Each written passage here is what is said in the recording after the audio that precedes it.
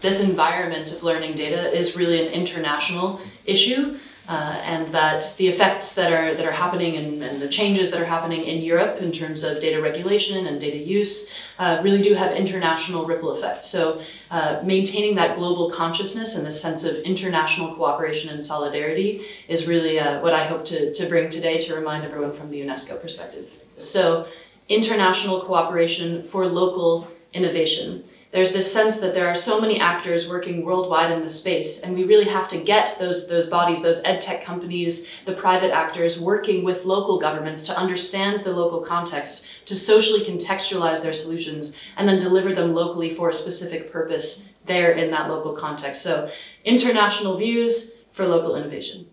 Smart and responsible use is purposeful and has uh, is limited to that purpose. So it means that there's a targeted uh, specific reason for the use of that data and that it's used only for that reason and not for sort of third party or commercial uh, commercial gain. Data for learning and, and education data in general is really a double-edged sword. It's not something that's inherently good or inherently bad.